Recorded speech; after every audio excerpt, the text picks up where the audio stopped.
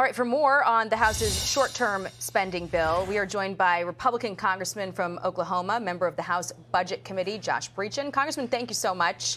Um, hey, appreciate it. Brecheen, I, I, uh, I know that, that last name's tough. Oh, I'm sorry about that. My sincere apologies. And this is my first time talking to you, so I, I hope you'll not hold it against me and you'll come no, back soon. It's a tough last name. so, Congressman, you're a member of the Freedom Caucus. Um, and I understand you voted yesterday on the continuing resolution, so I would imagine that you'd probably support this as well. Um, correct me no. if I'm wrong. No, you, yeah, you would be wrong. I uh, supported a 30% cut yesterday uh, to everything outside of veterans, homeland security. Um, you know, my uh, emphasis, uh, you know, leaving the free market, running for Congress, is we've got to turn the trajectory of a nation that's headed towards bankruptcy. And so what was on the floor yesterday was a 30% cut to everything in the discretionary budget outside veterans, homeland, and uh, defense. And it also included real border security. And so uh, the vote before us here in a few moments is going to be a continuing resolution that I cannot support because it's not going to be inclusive of, of spending cuts and border security. We, we live in, in short term and this country is facing long-term problems that have to be addressed. So it, it, with that position, sir, what does a government shutdown get you? Well, in terms of the government shutdown, there's not anybody, I think, on Capitol Hill who enjoys a government shutdown. What we are asking for in, the, in you know, those of us who have a, a shared position is that we have the strongest hand going into a position with a Senate-led uh, you know, Senate-led Democrats who want to spend more. They don't see that the average family of four is spending $1,200 more per month right now to buy the exact same goods and services as the, that same family of four was spending uh, in January of 2021. That's the cost of inflation. That's the excessive government spending, devaluing our currency. And that's almost $15,000 a year that every family in America, uh, that hidden tax of inflation. And so again, I go back to short term versus long term. It's always the short term crisis that stops us from, from dealing with the long term problems. Mm-hmm. The long term problems, inflation is just the tip of the iceberg. Mm-hmm. Within five years, we're going to spend more just to service our debt than right. we spend on defense of this country. Congressman, I understand your principle. Griff Jenkins here. Thank you for joining us, by the way.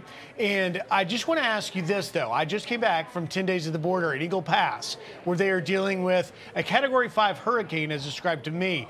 Reporting today, more than 260,000 migrants have arrived illegally at our border in the month of September, the highest month ever on record. And yet, if the government shuts down, they must work and they will not get a paycheck until the government opens up again. However, every member of Congress will receive a paycheck during a shutdown. That's a constitutionally protected amendment. Are you okay with that?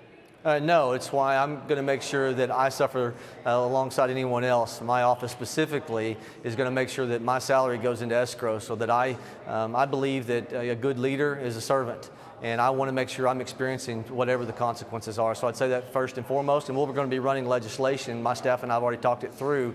The 27th Amendment prohibits us to do anything about our salaries in current session, but doesn't, in, you know, futuristically. And so we've already discussed it as of yesterday. How can we push this this measure forward to make sure that it's not just by, by escrow, but it's actually something statutorily we can do? And my office is going to be doing that. Um, on the border, look, let me say why this is so important.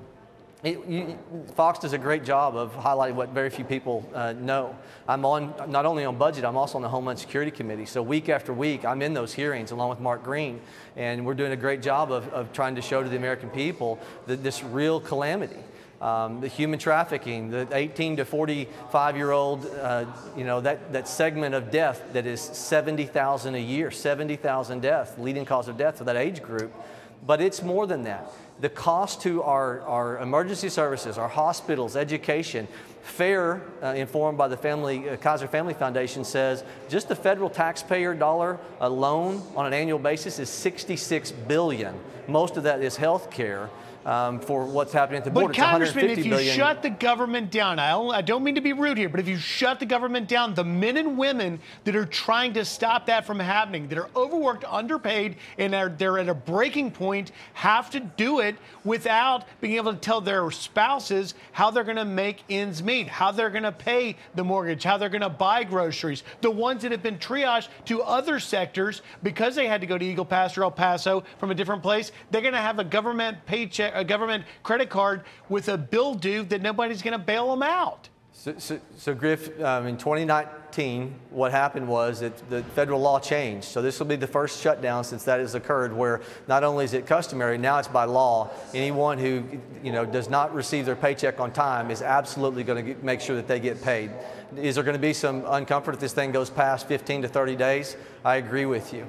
The question many of us are asking is, should we go to the Senate with a, uh, an ask that is so much in line with, with them that we end up getting nothing. We're, we are asked to be a reflection of our voters. If you well, ask, sir. One, one point about that though, because so if you vote down this continuing resolution coming out of the House, the Senate sends over their own CR, which is going to pass with 70 plus votes. How do you have more leverage then? How do you, your colleagues are saying that you're going to be eating a S word sandwich if that situation comes to pass? the, the ability for us to be able to have leverage in the House is getting 218 votes. And it's why some of us were leaning pretty heavily, believing the best way for that was to make sure that we are highlighting what is the catastrophe at the border, the fiscal cost of that border, and what inflation is doing to the average American family.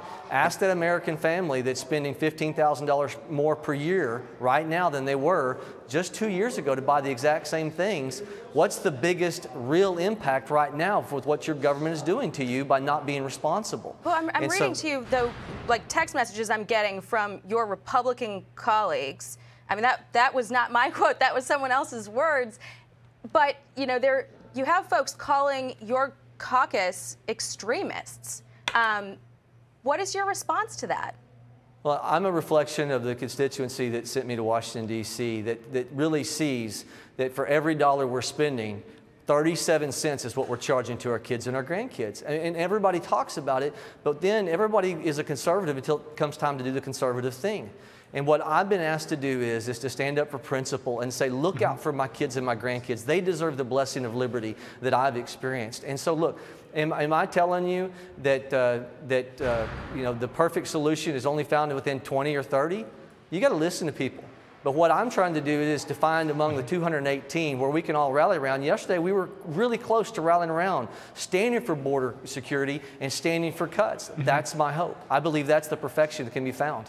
in 218 votes. Our viewers are watching uh, on the right side of their screen there, the House Minority Leader, Hakeem Jeffries, no doubt railing on Republicans. They see this as a victory for them, and they too would see a motion to vacate Kevin McCarthy as Speaker as a victory as well, just a little while while ago outside the Capitol. Matt Gaetz was talking about that, essentially saying that if indeed this deal is cut with Democrats and they pass something with this CR, this bill that's just been dropped, that he's all but assured to do to put forward that motion to vacate. Is that something you would support? Griff, I, and I'm thankful that you all let me put this earpiece in before I get on this interview with you. I, I got to catch his interview just by watching it on your screen here. And what I heard him say is that was not his focus. I think that Matt is wise not to make that his focus. We got to be focused on the budget. But you don't think it's coming? He's been well, saying I, he's going to do a motion to vacate since the beginning of time.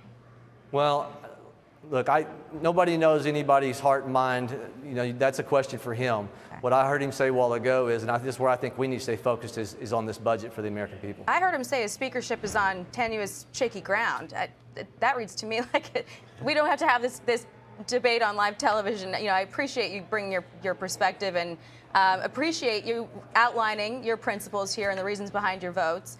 Um, thank you for your time, sir. Absolutely. Hey, God bless y'all. Thank you for coming in. And, and, uh, if you get any breaking news, please, we'll have you back. We, we appreciate your time. And I won't hey, screw up your I, name next time.